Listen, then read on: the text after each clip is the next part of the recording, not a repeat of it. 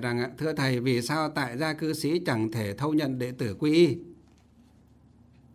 Vì tôi nói lúc nãy gì?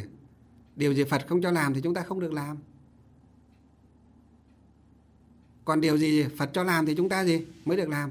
Ví dụ như Phật gì? Phật không cho những người xuất gia chúng tôi lấy vợ sinh con, lấy chồng sinh con thì nếu người xuất gia mà lấy chồng sinh con thì còn là gọi là người xuất gia nữa không các quý vị?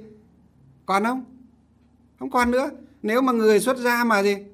Một vị tỷ khiêu mà còn lấy vợ sinh con ở trong chùa thì còn gọi là vị tỷ khiêu nữa không? Chắc chắn không phải nữa. Đó là những điều gì Phật không cho. Làm mà làm á, là phạm. Vậy Phật tử tại gia chúng ta không vậy? Đó là Phật tử tại gia chúng ta phải nương gì? Nương vào tam bảo để tu cơ mà. Cho nên chúng ta mới gì? Mới phát nguyện là đệ tử con tên là Nguyễn Thị A hoặc là Trần Văn B. Phát nguyện chọn đời quy Phật nguyện trọn đời quy pháp, nguyện trọn đời quy tăng. Quy tức là gì? Là nương tựa. Chữ quy có nghĩa là quay về, là trở về. Chữ y có nghĩa là nương nhờ, là nương tựa. Quy y có nghĩa là quay trở về nương tựa. Vậy chúng ta phát nguyện quy y tam bảo cơ mà. Có phải quy y là gì? Quy y cư sĩ đâu? Hay là quy y gì? Quy y thất chúng đệ tử đâu? Nếu mà phật dạy ở trong gì? Trong luật nó nói rằng gì? Đệ tử con gì phát nguyện quy y gì? Thất chúng đệ tử thì khi đó mới gì? Trong thất chúng bảy, thất chúng tức là bảy chúng đệ tử đó, thì có gì? Có hai chúng tại gia.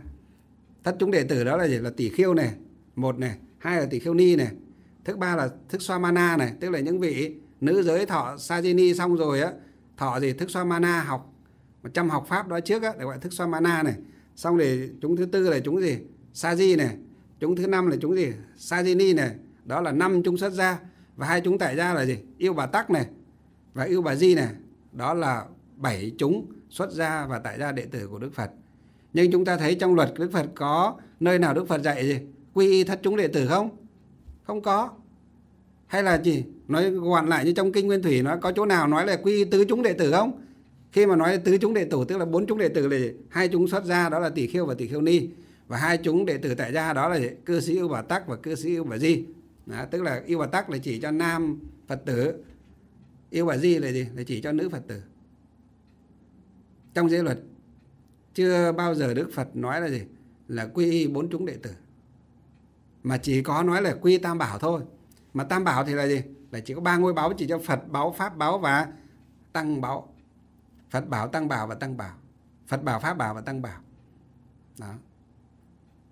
Cho nên ở đây thì như vậy là phật tử thì có thể đã hiểu được thì qua như vậy phật tử hiểu được vì sao tại gia cư sĩ không được thâu nhận đệ tử quy y. Là như thế. Chúng ta chỉ có thể gì? Gọi là kết duyên với gì? Bạn lữ đồng tu với nhau, thành một đạo tràng chuyên tu tịnh độ hay chuyên tu pháp hoa hay chuyên tu dược sư hay chuyên tu gì, thủy sám hay chuyên tu gì, tu thiền với nhau, vân vân chẳng hạn.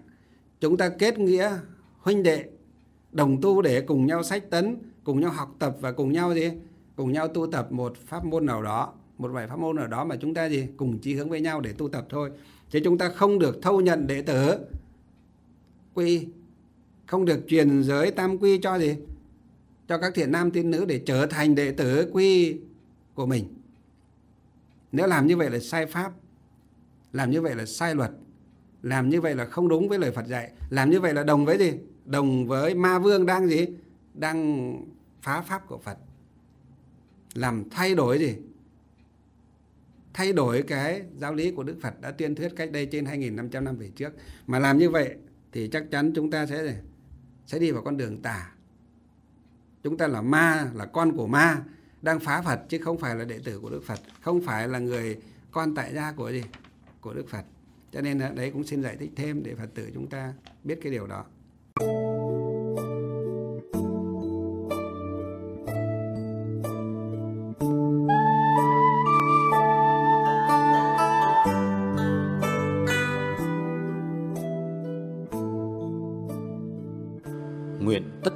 Chúng sinh đều tín niệm di đà đồng cầu sinh về nước cực lạc.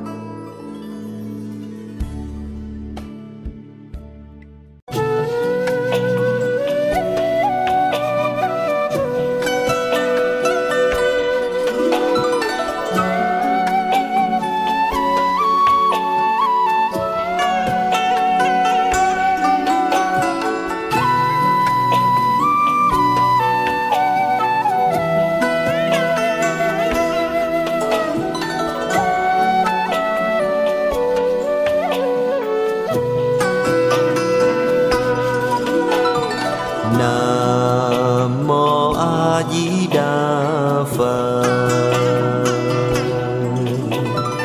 Nam mô a di đà phật.